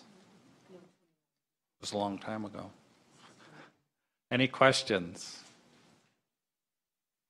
Recorded vote? All in favor? Against? Carried. Ben uh, voted against. The rest voted for it. So go ahead, Kim, whenever you're ready. Thank you. File number DP 2016-99 in Division 5, proposal, proposal for a single detached dwelling, legal description, Plan 0710284, Block 168, 604 Muirfield Crescent, in the hamlet of Lyalta. Owner applicants Douglas Homes. Parcel size 7,341 square feet. Is currently zoned direct control DC9 in the Lakes Muirfield. Details of the proposal. The applicant is proposing to build a single-family dwelling in the hamlet of Lyalta within the Lakes of Muirfield. The house is 1,347 square feet and 24 feet 8 inches in height. A new direct, a new direct control district was approved for the Lakes of Muirfield in April 2016. This property is located within Cell 2 Residential Type 2. Council shall be responsible for the issuance of development permits for all discretionary uses listed within each development cell. Land use bylaw requirements, applicant meets all provisions of the land use bylaw. A dwelling single detached is deemed a discretionary use in Cell 2, Land Use Regulations, Residential Type 2, Muirfield Direct Control, DC9 District. Circulation to ag- agencies was not performed. Internal circulation to file review with no concerns. Neighborhood circulation to adjacent neighbors, and nothing was received. It's the recommendation to approve this application with the following conditions. This development permit is issued for a new residence defined as a dwelling single detached. No variances have been granted. Development shall proceed according to direct control DC9 district's requirements and must conform to all applicable provisions of the Wheatland County Land Use Bylaw. No permanent development shall occur on or over any utility right-of-way or easement. We have our three standard conditions. Or council can refuse this application with reasons given. This is the location of the proposed house beside the clubhouse. This is the site plan submitted with the application. Site inspection photo of the bare parcel. And that's everything. Thank you. Thank you, Kim. Council have any questions? A Couple questions for the developer. Is he present?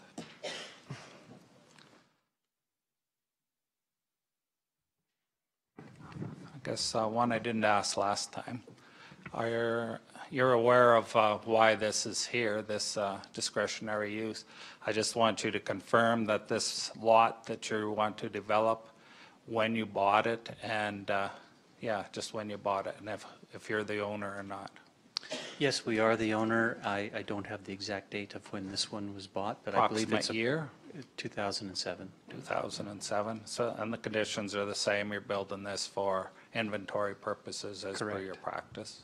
Correct. Okay, is there any other questions? Thank you. Thank you. S- Council's wishes.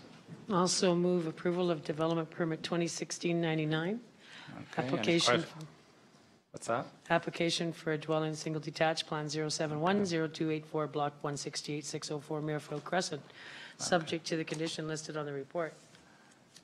Okay, thank you. Any questions or concerns?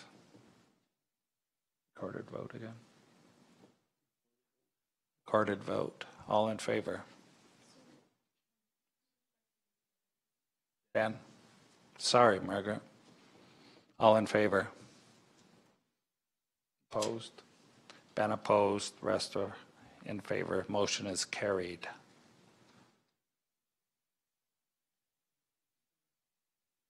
Okay, council's wishes. Uh, If we're to proceed, I need another motion to reconsider. Hmm? Oh, rescind motion. Somebody got? That's your motion? Any questions or concerns? All in favor? Carried unanimously. Same notation, Councilor Bland, and eligible to vote. Okay, now a motion to reconsider.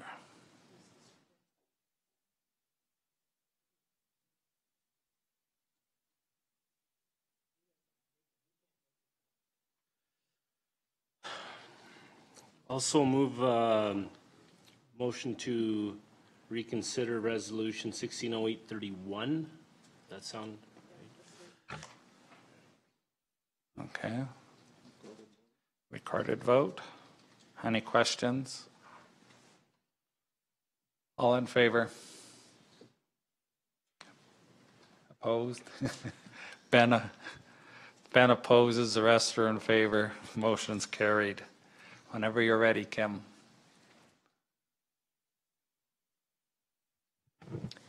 Thank you. File number DP 2016-100 in Division 5. The proposal is for a dwelling single detached. Legal district description 0710284, Block 179. That's 674 Muirfield Crescent. In the hamlet of Lyalta, owner applicants Douglas Homes. The parcel size 7,308 square feet. is currently zoned direct control DC9 in the Lakes of Muirfield. Details of the proposal, the applicant is proposing to build a single-family dwelling in the hamlet of Lyalta within the lakes of Muirfield. The house is 2,228 square feet, including the 568 square foot garage. The dwelling is 32 feet 2 inches in height. A new direct control district was approved for the lakes of Muirfield in April 2016. This property is located within Cell 1 Residential Type 1. Council shall be responsible for the issuance of development permits for all discretionary uses listed within each development cell. The land use bylaw requirements, the applicant meets all provisions of the land use bylaw. A dwelling single detached is deemed a discretionary use in Cell 1 Land Use Regulations, Residential Type 1, Muirfield Direct Control DC 9 District. Circulation to adjacent, to agencies was not performed. Internal circulation to file review with no concerns. Neighborhood circulation to adjacent neighbors and nothing was received. The recommendation is to approve this application with the following conditions. This development permit is issued for a new residence defined as a dwelling single detached. No variances have been granted. Development shall proceed according to direct control DC 9 district requirements and must conform to all applicable provisions of the Wheatland County Land Use Bylaw. No permanent development shall occur on or over any utility right-of-way or easement. Our standard notes. Or council can refuse this application with reasons given. This is the location of the proposed dwelling. The site plan that was submitted with the application. And a photo of the bare parcel. That's everything. Thank you. Thank you, Kim. Council have any questions? One more question. The same questions as before, but uh,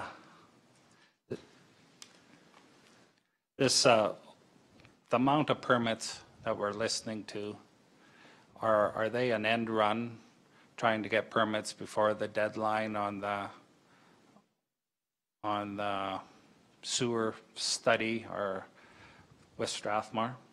As there was a six-month time limit in it. That's a great question. Um, The number of permits that have been applied for are consistent with our business model, the way we do business in every community. We go for bulk permits. Um, I would be lying if I said we weren't cognizant of the fact that uh, the potential of being frozen out of building those homes, but it's not inconsistent with what we do, and it, we do it in order to provide an even flow of work for our people. Okay. Any other questions? Thank you for your answer. Council's wishes. I move the recommended action on DP 2016-100 uh, for approval with the um, uh, recommendations uh, attached. Okay. Conditions? And Ben's asked for a recorded vote. Any questions? All in favor? Opposed? Carried. Ben has appro- dis- voted against. The rest voted for. Now I need a motion to uh, rescind. Too many Rs in my. Brenda? Motion to rescind Resolution 160832. Okay, again, staff confirms that's the right number. Okay. All in favor? Carried. Council's wishes. Motion to uh, reconsider resolution 160834, 33. 33. Recorded vote again. Any questions? All in favor? Opposed? Carried. Ben has voted in opposition, the rest of the councilors voted for. Whenever you're ready, Kim.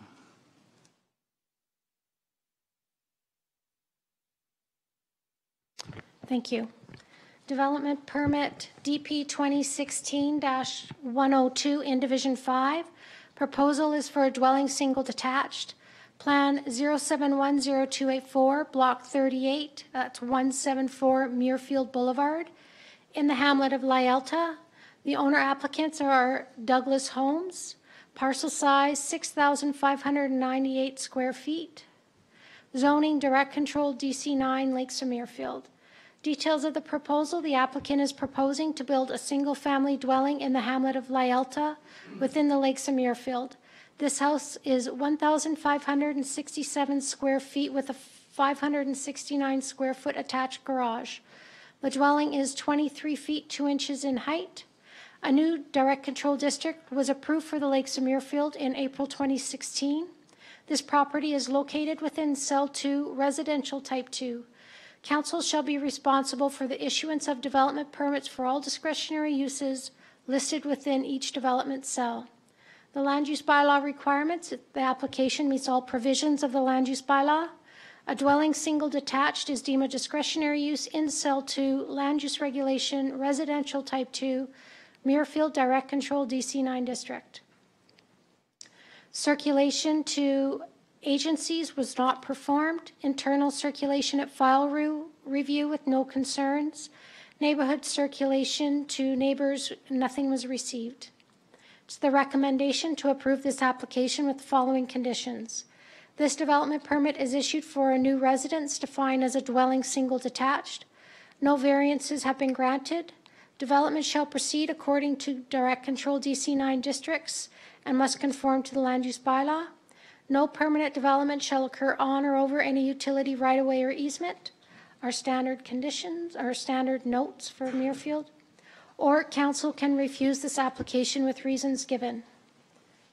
This is the location of the proposed dwelling. The site plan that was submitted with the application. And a site inspection of the bare parcel. That's everything, thank you. Thank you. Any questions from council? I guess I have a question for the developer. Same questions or the same answers? Just the. Same make it answers. And another question I had on the day of, when I seen this one, I see a piles of dirt on there. Is this a house been started to be built? I see dirt on our picture, if you noticed on the slides. I did notice on the slides, and I was thinking Vanity must have dumped some clay there, but um, no, the home has not been started, and uh, a normal practice is, is that before you truck something completely off-site, you store material, see if you use, reuse it in, uh, in backfilling on a, on a Okay. particular project, and then it would be disposed of or redistributed. So you'll probably have words for somebody who did that then? If, I, I, I could just as easily blame one of our own people. Normally, each builder will store on their own lot. Okay, Okay. okay, thanks for that. Any other questions? Council's, I'll, I'll move um, EP 2016-102 with the recommended uh, conditions. okay. Recorded vote requested by Van. Any questions? All in favor? Opposed? It's carried. Ben is councilor opposed, the rest were in favor of. And a motion to rescind. I'll Brenda? move to rescind Resolution 160834. Okay, correct number? Okay. Any questions? All in favor? Ben, did you vote? Sorry, missed. Motion's carried.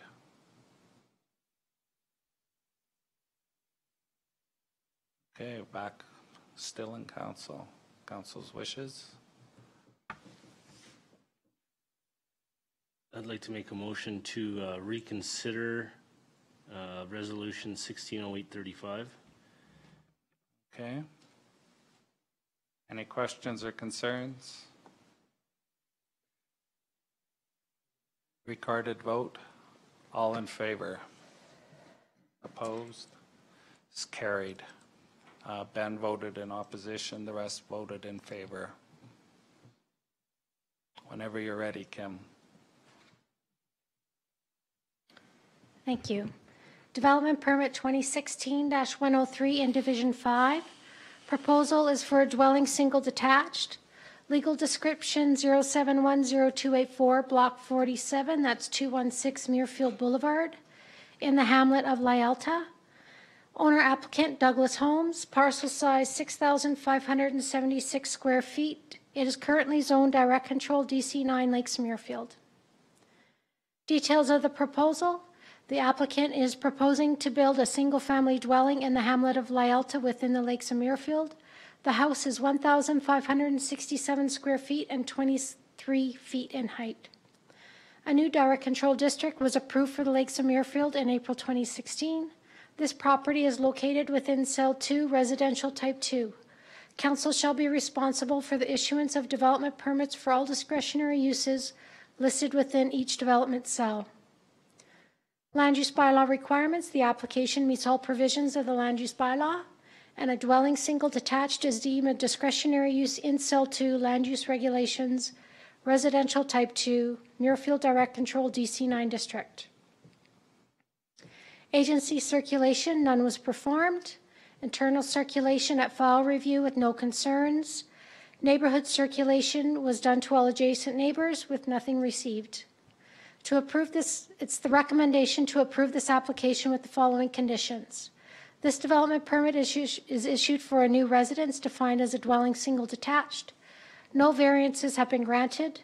Development shall proceed according to Direct Control DC 9 district and must meet the provisions of the land use bylaw. No permanent development shall occur or- on or over any utility right-of-way or easement. We have our standard notes. Or council can refuse this application with reasons given. This is the location of the proposed dwelling. The site plan that was submitted. And a inspection of the bare parcel. Thank you. Thank you.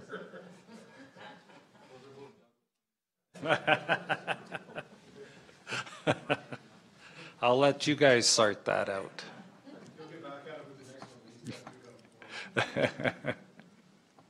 Council have any questions?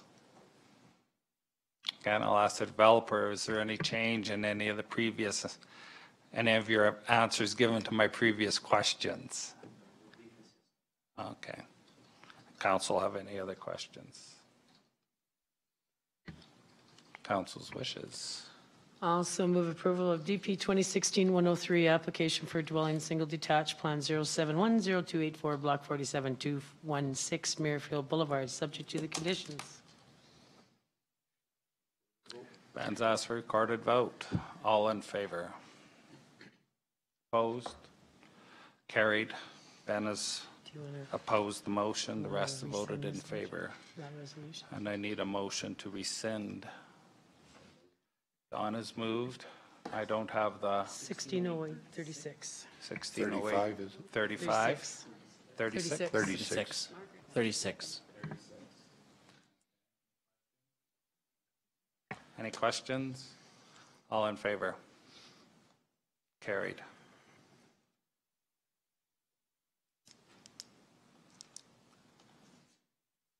Council's wishes.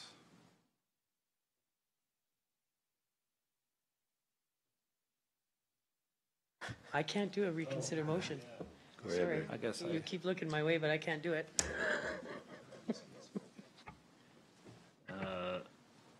I will uh, make a motion to reconsider Resolution 160837. That's the right number, thank you. Any questions? Recorded vote. All in favor? Opposed? Carried. Ben's voted against, the rest voted in favor. Whenever you're ready, Kim. Development Permit 2016-104 in Division 5. The proposal is for a dwelling single detached. Legal description Plan 0710284, Block 149, that is 7 Muirfield Close, in the hamlet of Lyalta. The owner applicants are Douglas Homes. Parcel size 7,384 square feet. It is currently zoned Direct Control DC9 Lakes of Muirfield. Details of the proposal, the applicant is proposing to build a single-family dwelling in the hamlet of Lyalta within the Lakes of Muirfield. The house is 1,347 square feet with a 571 square foot attached garage. The dwelling is a, the dwelling is 21 feet 2 inches in height. A new direct control district was approved for the Lakes of Muirfield in April 2016. This property is located within Cell 2 Residential Type 2. Council shall be responsible for the issuance of development permits for all discretionary uses listed within each development cell. Land use bylaw requirements. The application meets all provisions of the land use bylaw. A dwelling single detached is deemed a discretionary use in Cell 2, Land Use Regulations, Residential Type 2, Muirfield Direct Control DC 9 District. Circulation comments. None was performed to our agencies. Internal circulation to file review with no concerns. Neighbor circulation to all adjacent neighbors with nothing received. It's the recommendation to approve this application with the following conditions. This development permit is issued for a new residence defined as a dwelling single detached. No variances have been granted. Development shall proceed according to DC 9 district and must comply with all provisions of the land use bylaw. No permanent development shall occur on or over any utility right-of-way or easement. We have our standard notes. Or council can refuse this application with reasons given. This is the location of the proposed dwelling. The site plan submitted with the application. And site inspection of the bare parcel. That's everything, thank you. Thank you. Any questions? Same question again to the developer. Is your answer for this development the same as all the previous ones, except for, I don't see any dirt pile in this one? Okay. Same answers, okay. Any other questions?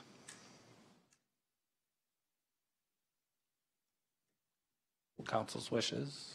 So I'll move approval of development permit 2016-104, application for dwelling single detached plan 0710284, block 149, 7 Muirfield Close, subject to the conditions listed in the report. Any questions? Recorded vote? All in favor? Opposed? Is carried. Ben voted in opposition, the rest voted in favor. Rescind this one. And a motion to rescind.